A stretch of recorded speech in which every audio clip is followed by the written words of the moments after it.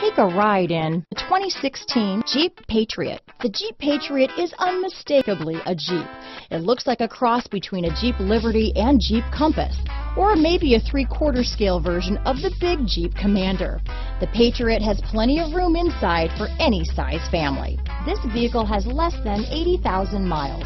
Here are some of this vehicle's great options. Traction control, dual airbags, power steering, center armrest, electronic stability control, rear window